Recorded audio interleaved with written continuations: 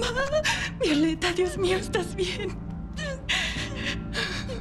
Hace tanto tiempo que no me decías mamá. Vamos, tienes que salir de aquí rápido.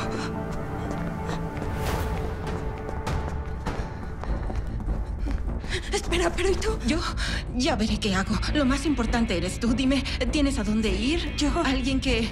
No, no, mejor no me lo digas. Así será mejor.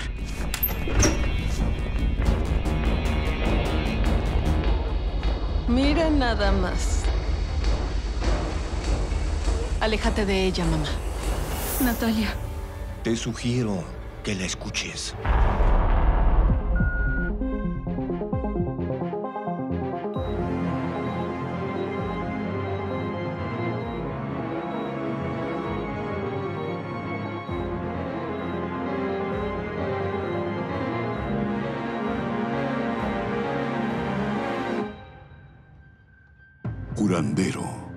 Obsesión. Capítulo 15.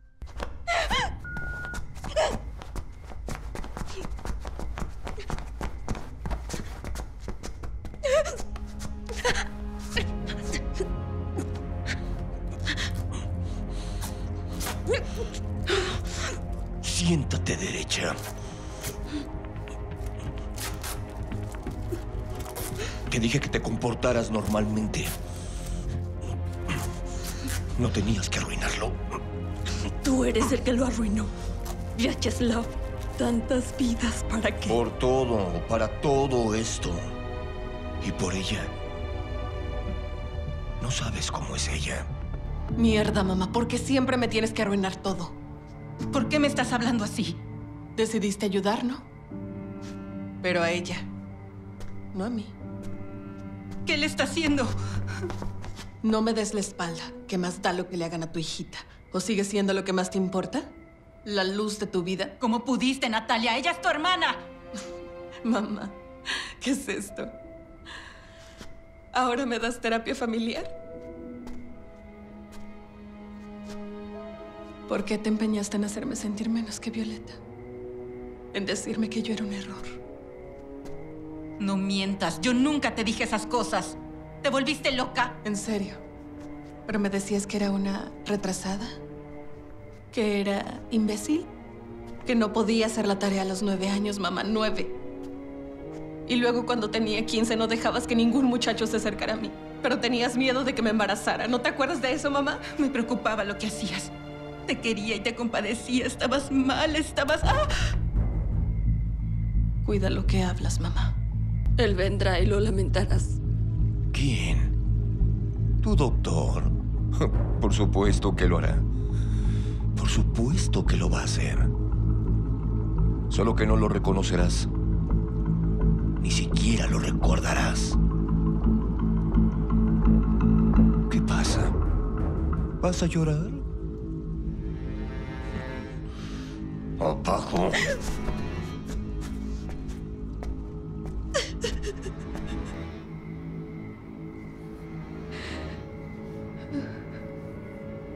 Deberías estar agradecida conmigo.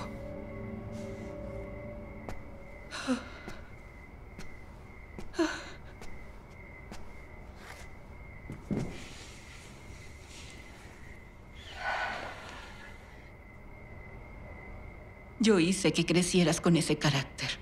Solo tenías que amarme.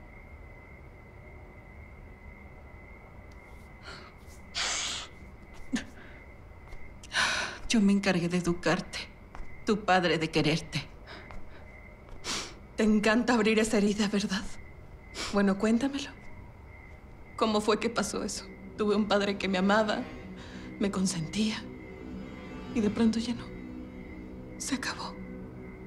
¿Cómo pudo hacerle eso a su propia hija?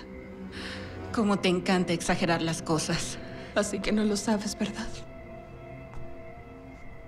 ¿Cómo puedes dejar de amar a alguien así? Pues ya ves, así pasa. ¿Qué pasó para que dejara de amar a su hija? ¿Qué le hice? Le doné sangre cuando estuvo enfermo.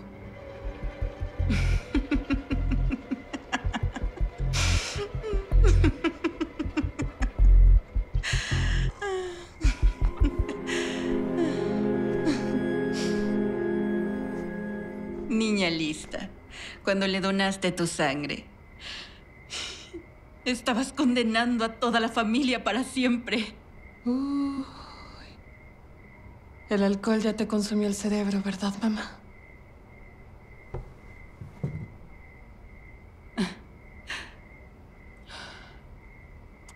Yo soy de tipo de sangre 3. Él es tipo 4. Tú eres tipo 1. Y eso no es normal. Lo descubrió cuando tenías 11 años. Y cuando se enteró, ya nunca pudo perdonarme. Ni a ti. Y yo esperaba que el tiempo pasara y lo superara.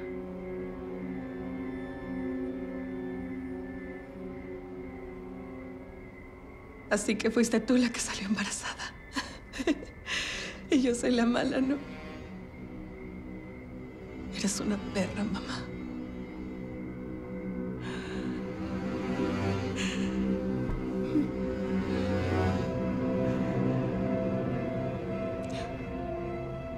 Realmente quería que hicieras todo por ti misma.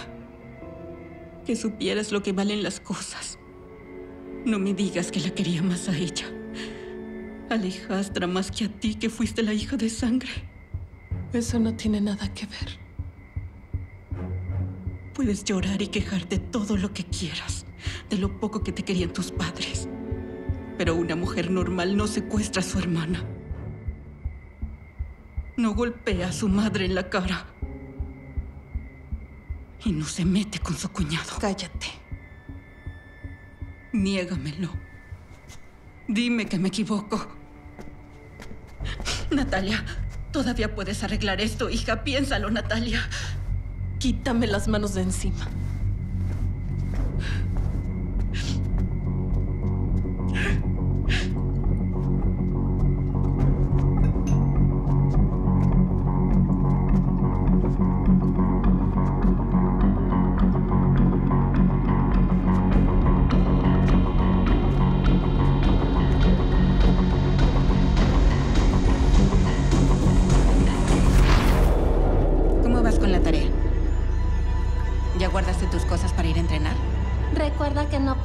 Entrenar porque me lastimé el pie. Además, a Violeta sí la dejas hacer lo que ella quiera y a mí no, mamá. Natalia, entiende, mi amor. Todo esto lo hago por ti. Para que tengas éxito en algo. A Violeta todo el mundo la quiere, pero tú tienes que esforzarte. Y estás haciendo que todo mi esfuerzo sea en vano. ¿Qué es esto? Mira esta cochinada, hija. ¿Te parece que es justo que te la pases perdiendo tu tiempo así? Contéstame. ¿Lo vale? No, No te oigo más fuerte. no. Qué buena niña. Quiero que seas más inteligente a partir de ahora, ¿sí? Vámonos. Te quiero.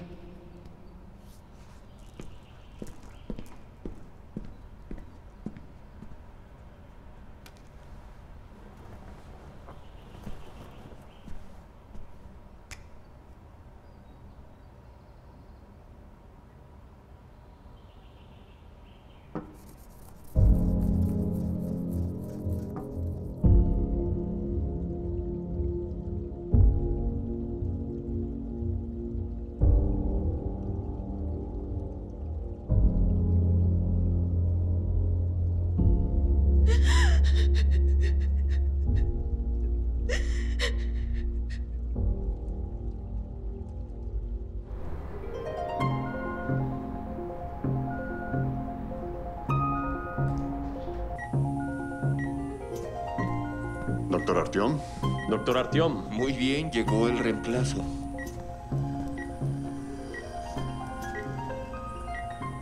¿dónde estará el problema? ¿Dónde?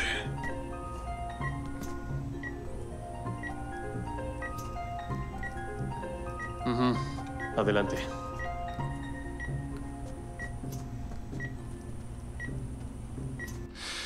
Bien, ¿qué era lo que quería aclarar? Solo un par de preguntas.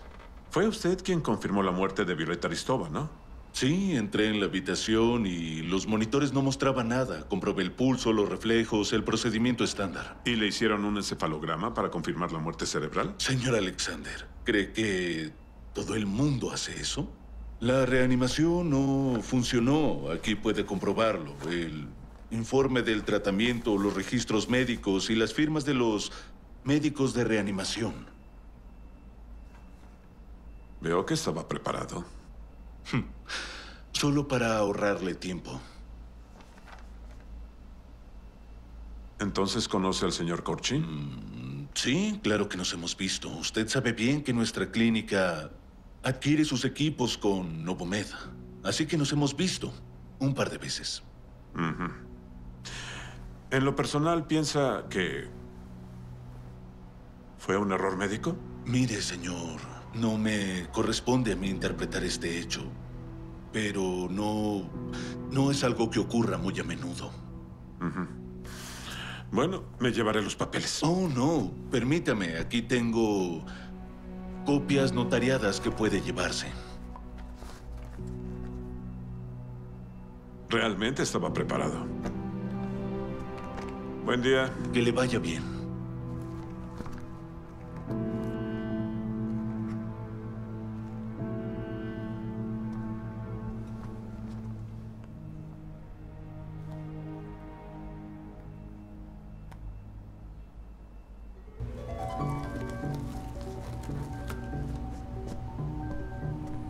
¿Todo va bien? Ponlo por aquí. Un milímetro más distal. Pongan más atención, sé que están cansados. Ya todos tienen sueño.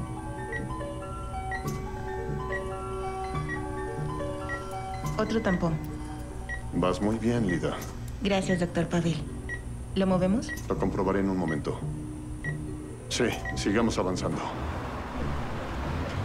¿Qué va a hacer la policía? ¿Revisarán tus papeles? No me gusta que revisen los documentos. Esto me da muy mala espina. Hmm.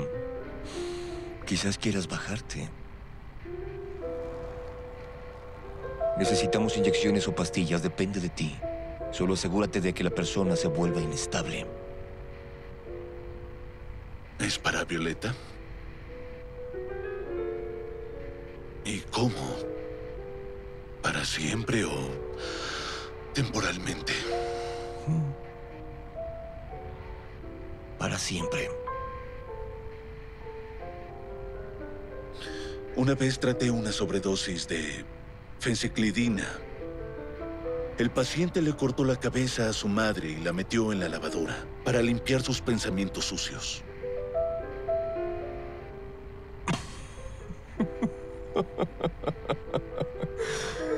Pues también ponle un sedante para que no sea violenta. Solo que con esto ganaré mi libertad. Tú y yo nunca nos conocimos.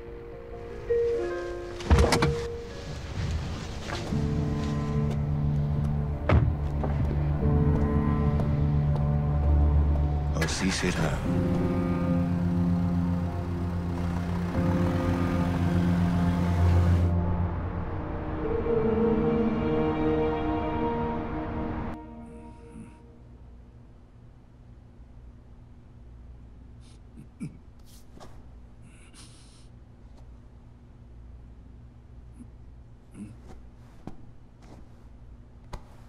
Nicolai, no. ¿Qué pasa? Ah, no puede ser, ¿ya terminaron? Eso espero. Ah, tú también te dormiste. No, ¿cómo dices eso? Ajá, Es sí. que tuve que salir. Vamos. Ajá. No te creo.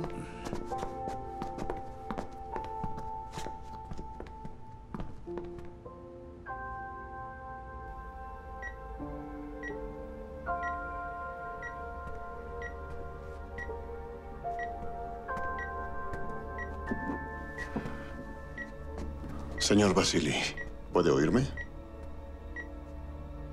Sí, te oigo. ¿Cómo se siente?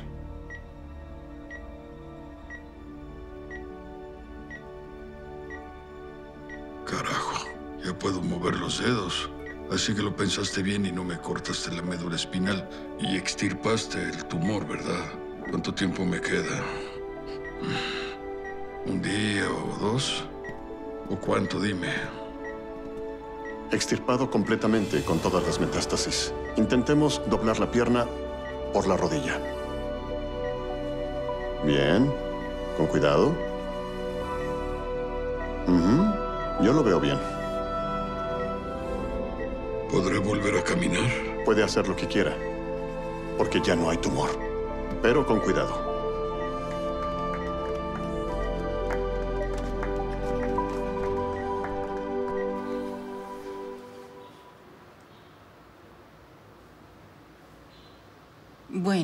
Lamento decirles esto. Su feto tiene un defecto del tubo neural llamado espina bífida.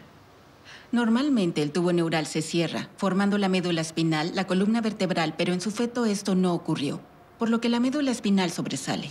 Ambos somos doctores, ya sabemos lo que es eso. Solo dígame, ¿cuál es la causa? A veces pasa si la madre tiene más edad. O por una deficiencia de ácido fólico, ¿usted lo ha tomado? ¿Qué? Ácido fólico. ¿Realmente quieres saber si he estado tomando ácido fólico? Sí, sí. Puede encontrarlo en los cereales integrales, en las verduras de hoja. Por ahora, lo siguiente es discutir las condiciones de su aborto. ¿Está loca o qué? Usted hizo la inseminación. Se supone que elimina a los embriones defectuosos. ¿Este se le escapó o qué? ¿Y así le dice a mi esposa que debió comer más perejil? No me grite. Lo lamento, pero esto sucede. Como médicos deben entender que no es por causas genéticas. Una operación en el extranjero es demasiado cara. En Rusia se programa con años de antelación y apenas ha habido resultados exitosos. Por lo tanto, mientras el tiempo sea corto, el aborto sería la opción más humana.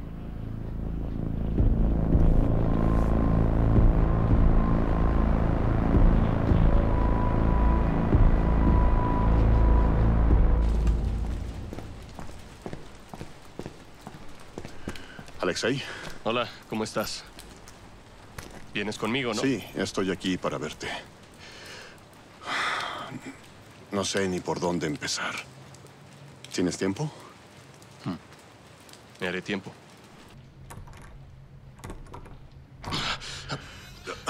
Ahí está. No deberías entrar. Va en contra de la ley. Yo no tengo nada que perder. Lleva desaparecido una semana. Yo me hago responsable de esto. Gracias por tu ayuda. Me he encontrado con muchas personas y sé lo que son capaces de hacer. Te conozco. ¿Dónde habías estado?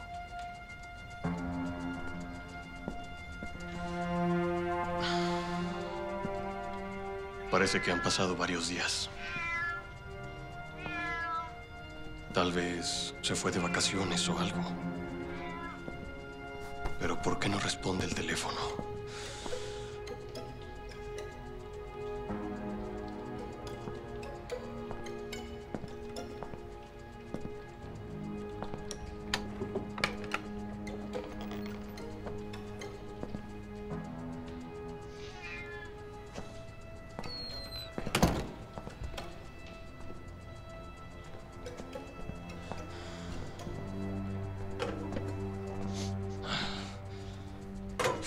No planeaba irse.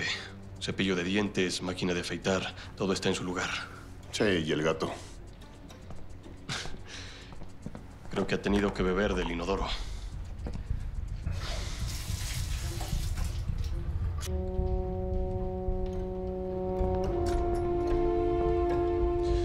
No entiendo nada.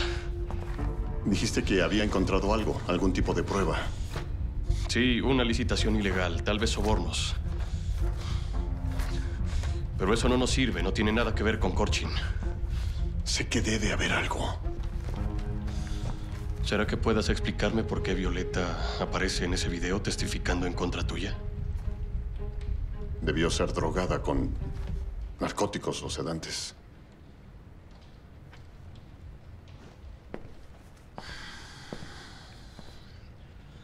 Fetisov. Fetisov. Melnichenko y yo nos encontramos con un patólogo que también nos dio testimonio sobre Fetisov. Pero pensé que Melnichenko no tenía más que eso. Tiene que haber algo.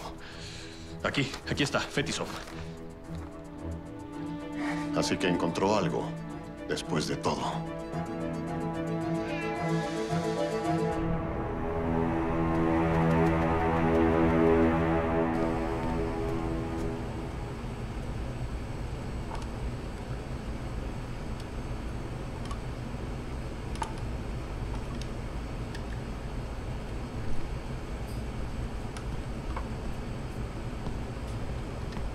¿Qué tienes ahí?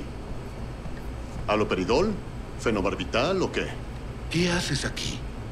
Sal inmediatamente. Tú ya no trabajas aquí. Abandona el edificio. Si investigamos estos medicamentos no aparecerán en los registros. ¿Qué dosis le estás dando? ¿La máxima? Ya basta. Llamaré a seguridad. Llama, llama, llama. Tengo todo aquí. Todo sobre ti. Hace tres años se te investigó por faltantes en el dispensario y por el hecho de que Korchin le pagó al médico jefe para que te sacara de cualquier problema. Sobre Aristov padre, ¿lo recuerdas? ¿Qué tiene que ver Aristov con esto? El patólogo tenía dudas sobre su muerte, pero por supuesto, también le pagaron. Sobre Pagnovsky, sobre Violeta Aristova, a quienes tú no pudiste salvar. Solo falsificaste los documentos de reanimación. Eso es pura mierda. Pagnovsky murió de un fallo cardíaco, todos lo saben. Y la reanimación es oficial, así que no tienes nada. En este momento voy de camino al interrogatorio y el investigador tendrá mucha curiosidad por ver esto, sobre todo porque Violeta Aristova está siendo drogada con los medicamentos que tú le has estado dando. ¿Por qué no dices nada? ¿Me dirás dónde está? No tengo ni mínima idea. No sé a quién te refieres. Escúchame. Que nadie te aconsejo. Que lo pienses y que lo pienses muy bien. Porque la próxima vez le responderás a la policía. Y no te hagas ilusiones con Korchin. Primero se va a deshacer de ti. Y sabe cómo cubrir sus huellas. Vete a la mierda.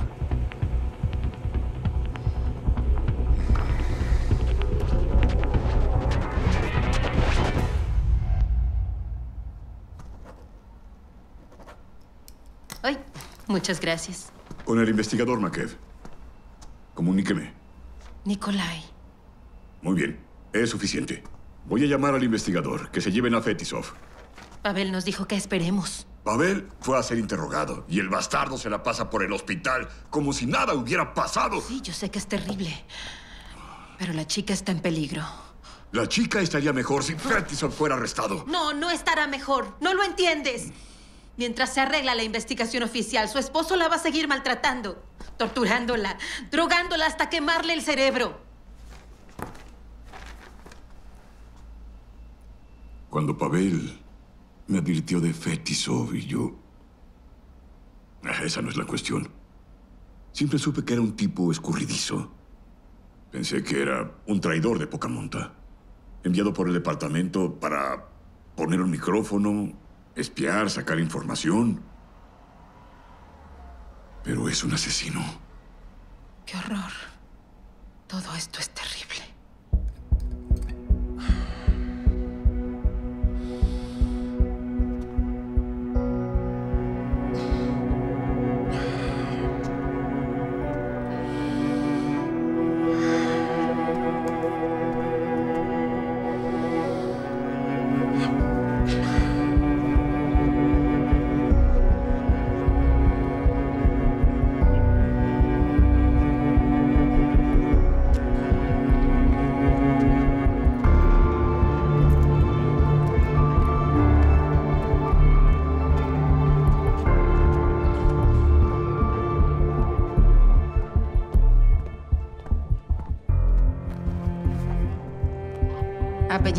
Andrev, con el investigador Makiv para declarar. teléfono, llaves, objetos metálicos se quedan aquí mientras pasa el interrogatorio. El teléfono. Discúlpeme. ¿Sí? ¿Hola? Habla Fetisov. Ahora no puedo hablar. ¿Ya te están interrogando? ¿Les hablaste de mí? estoy diciendo que ahora no puedo hablar. Señor, va a tardar mucho. Si no lo haces, te daré información de Korchin. Continúa. Te puedo ayudar. Les diré todo y a cambio no les mostrarás el archivo ni testificarás en mi contra. ¿Me entiendes? Ni siquiera menciones mi nombre, ¿está claro? Te llamaré luego. Doctor Pavel. Lo estaba esperando. Lo siento.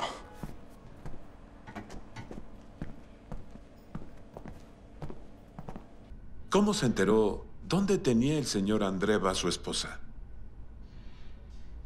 Ella misma llamó, suplicó que la recogiera, mientras este la tenía secuestrada. Eso es mentira. Ella nunca te llamó. Compruébelo. ¿Quién llamó entonces? ¿Lo estaban siguiendo?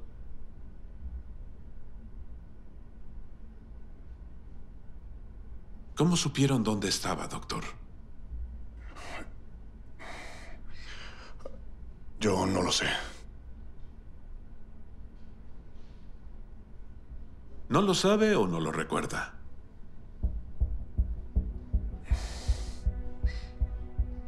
Deme algo, cualquier pista que pueda servirnos, ayude a la investigación, los nombres de los cómplices. Él no pudo haberlo hecho solo. Dígame algo.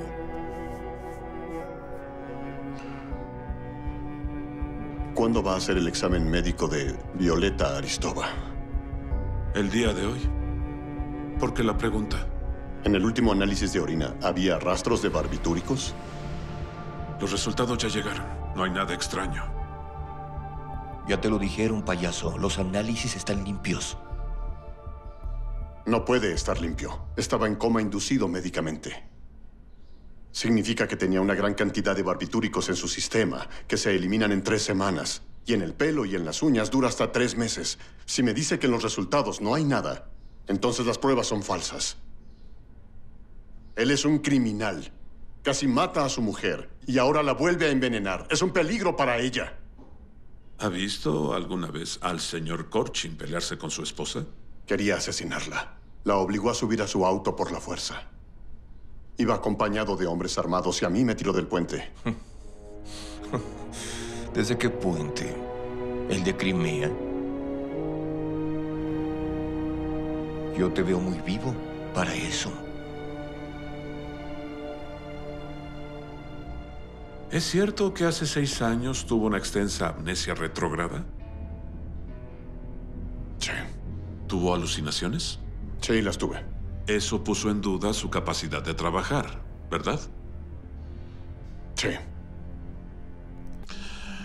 Después de perder a su esposa e hijo, debe tener muchas pesadillas.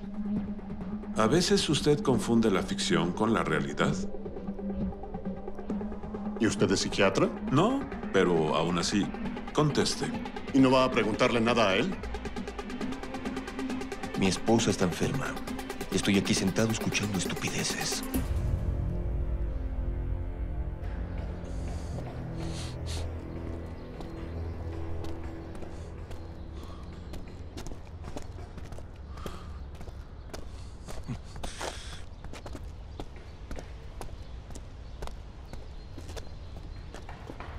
Te dije que todo este problema es por tu gusto. Así que piensa en métodos más radicales. Ella irá al manicomio y tú a prisión. ¿Por qué no te largas y desapareces? Los tuyos te están esperando. Adelante, sí. Golpéame para que también te acusen de agresión.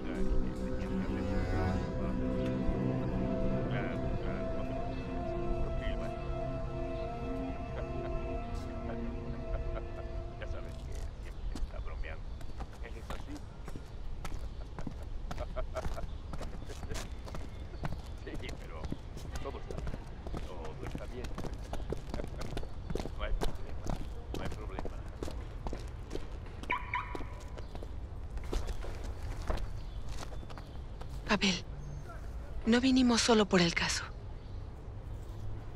Mi bebé tiene espina bífida. Necesitamos que nos ayudes. Oh, por Dios. Oigan, estoy bajo investigación. Ni siquiera se me permite dar consulta. Pero serás absuelto. No, bueno, eso es... No, no lo creo. Corchin lo tiene cubierto. El investigador ni siquiera me escucha.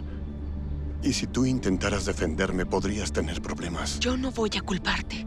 Pavel, al menos podrías decirnos qué hacer. Tatiana decide. ¿Cómo puedo decidir? Román dice que solo tú puedes hacer esta operación. Si las cosas son así, ¿qué sentido tiene ir a abortar mañana? Tatiana, no vamos a abortar. Bien.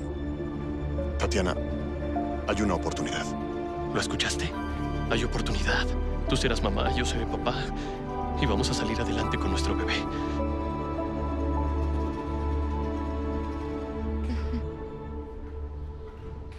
¿Te das cuenta de que no hay nada sólido en el caso de Corchin?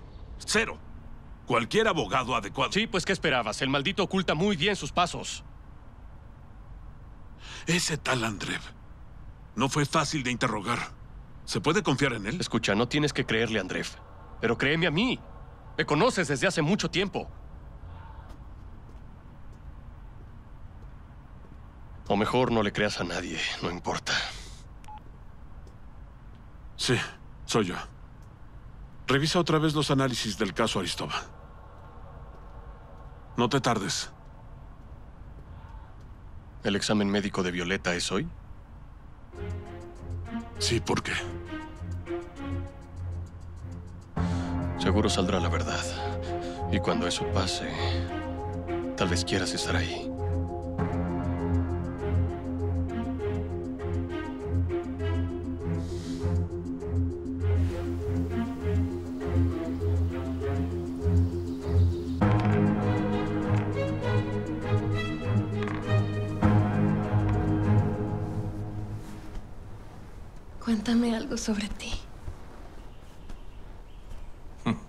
Eso para qué?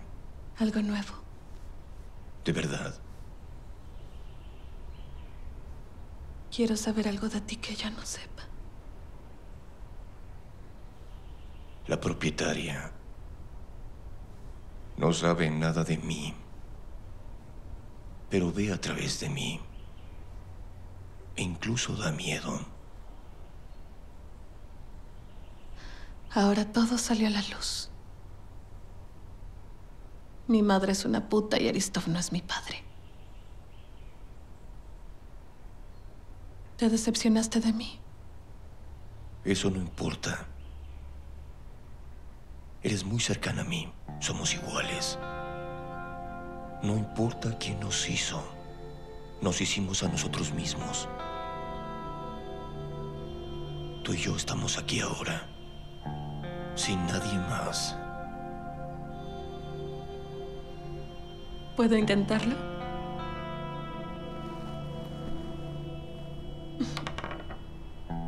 Es un 6. Fetisov.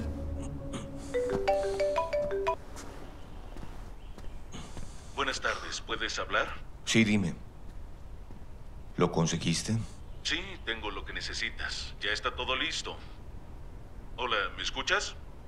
Estupendo, ven para Esta acá. es la última vez, porque si Andrep dice algo... No te preocupes tanto, tu nombre no está involucrado. ¿Estás seguro? Andrep tiene miedo de inculpar a uno de sus colegas, no ha dicho nada. Eso espero. Corchin espera que le dé neurolépticos. Sabes tan bien como yo lo que le harán al cerebro, en especial después de un coma. No quiero hacerle daño a nadie. Nunca quise hacerle daño a nadie. No te hagas la víctima, solo salvas tu propio pellejo. ¿Y eso qué? Aunque así fuera, ¿qué importa? Yo no soy el fiscal, no podré sacarte. Confío en que cumplirás tu palabra. Destruye todo lo que encontraste, cada copia. A cambio, le darás un placebo, una solución salina. Debes insistir en que debes ser tú quien le ponga la inyección. Corchen te llevará hasta ella. Y ahí es donde se la pondrás. Tienes que encontrar la manera de que sepa que vas de mi parte, para que no se delate antes de tiempo. Y así salga la verdad en el examen médico. Pero si te equivocas, podría matarla a ella y a ti. Adelante. Hola. Se supone que debo ver a Vyacheslav. Sí, está bien, pasa.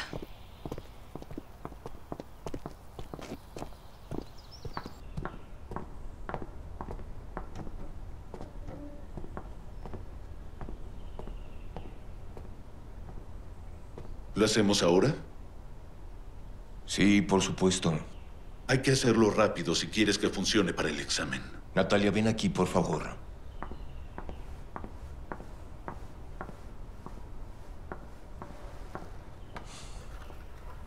Andreev está fuera.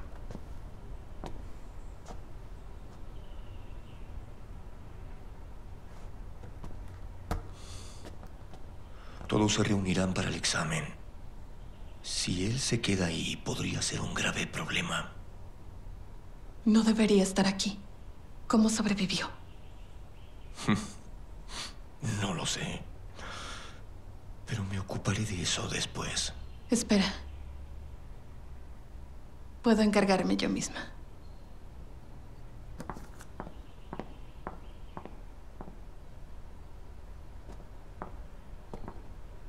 ¿Lo hacemos ya?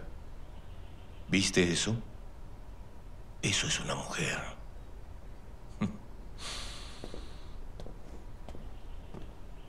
Sígueme.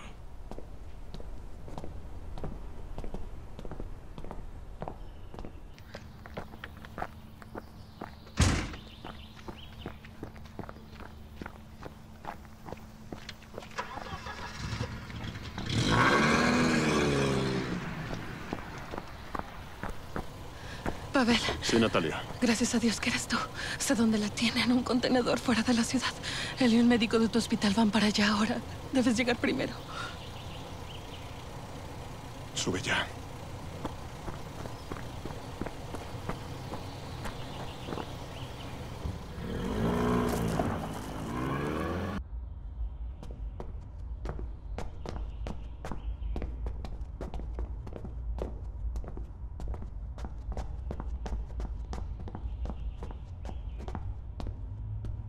Aquí está. ¿No has oído el dicho? Mantén a tus amigos cerca y a tus enemigos en el sótano. ¿Qué haces, baja? ¿Y la has tenido aquí todo este tiempo?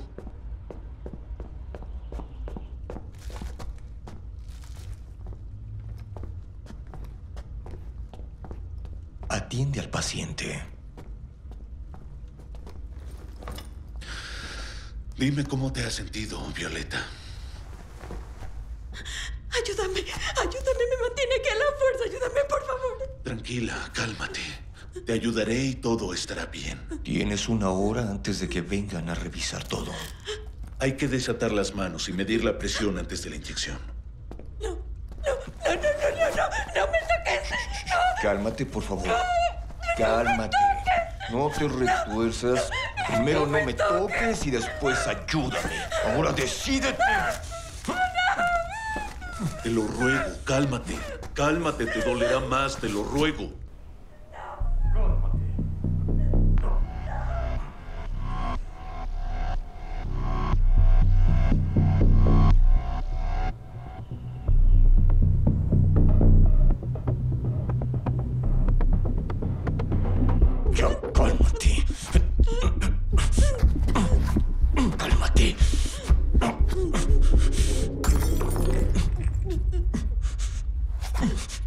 Quédate ahí. Quédate ahí. ¿Tú qué esperas? Rápido. ¿Y no vas a limpiar eso? Después lo recogeré. ¿Dejarás vidrios al alcance de una mujer suicida con neurolépticos? ¡Cállate, inyéctala!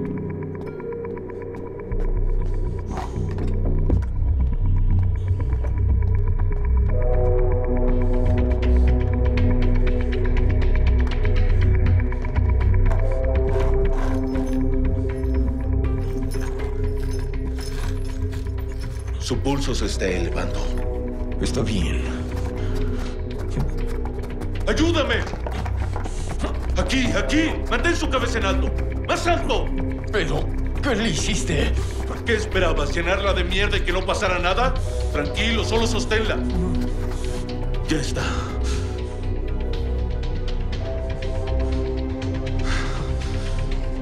¿Fue suficiente? ¿Es lo que querías? ¿Qué tipo de contenedor? Un contenedor de transporte. Se usa como bodega. Está a unos kilómetros. ¿Y cómo lo supiste? Revisé su computadora. Ajá. Bueno, pues llamemos a la policía entonces. Yo les llamo después. Ya casi llegamos. No hay que perder tiempo. ¿Cuánto tiempo dijiste? Dos kilómetros y sales de carretera.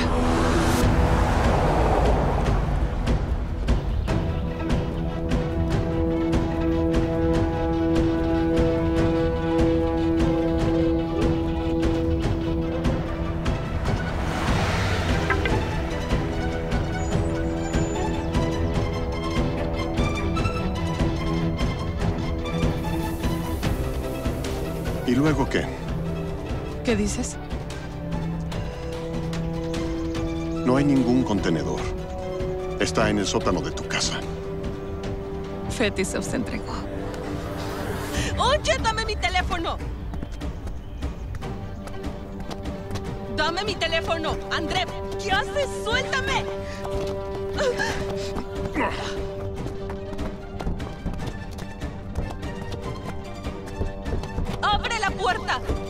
Maldita puerta! Pavel, no te atrevas. ¿Qué diablos haces?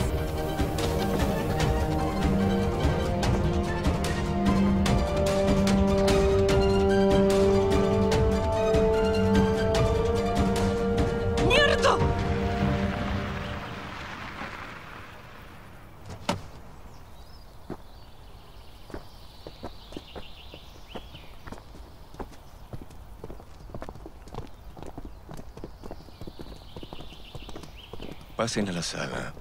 Prepararé a Violeta y bajaremos enseguida.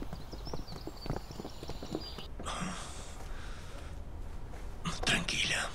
Siéntate. Así.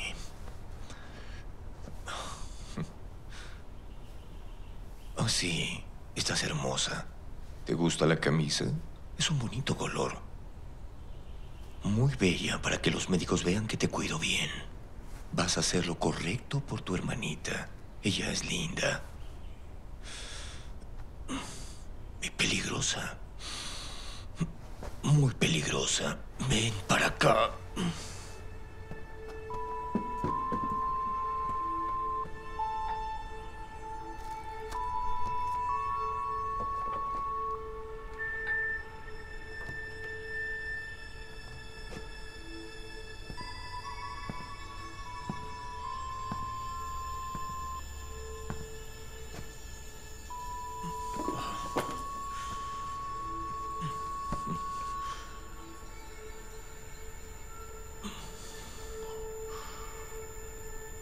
Ni siquiera es tu hermana.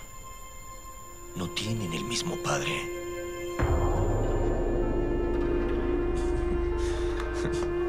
Pero eso ya no importa.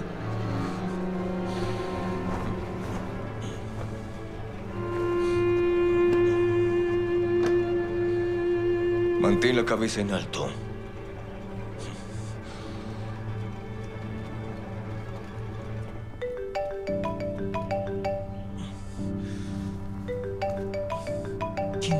Demonios es? ¡Mierda, mierda, mierda, mierda! ¿Se va a tardar mucho?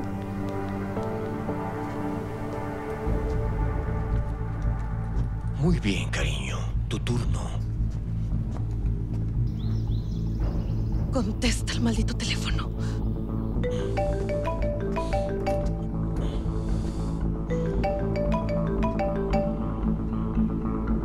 Sí. Sal de ahí ahora. Deja todo y vete rápido. Fetisov te delató. Probablemente sea una trampa. ¿Me estás escuchando? No pude engañar a André. Va de vuelta para allá, ¿me oyes? Vyacheslav, por favor, sal de ahí. Si le haces algo ahí mismo, no podremos escapar. Vete y encontraremos un abogado. Lo resolveremos juntos. Entendido. Gracias, Natalia.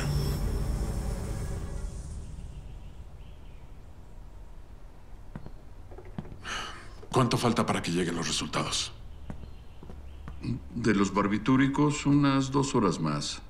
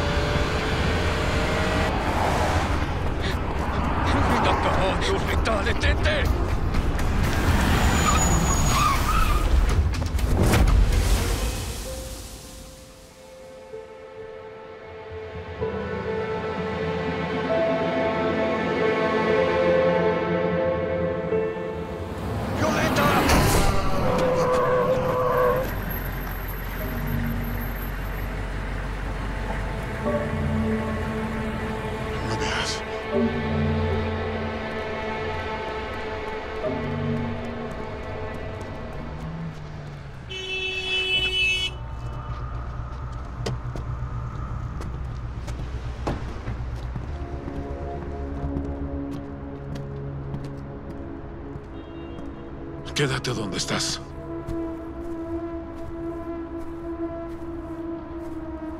Sí, hola. Estoy en la calle Petsovskaya. El número es 154. Un autobús atropelló a un hombre. Esperamos.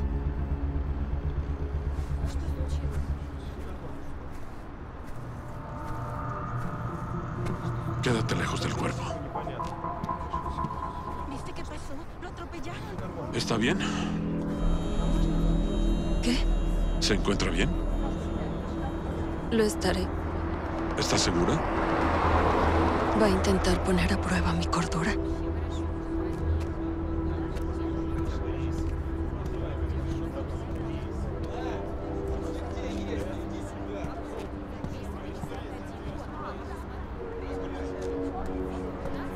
No lo veas. Violeta, no lo veas.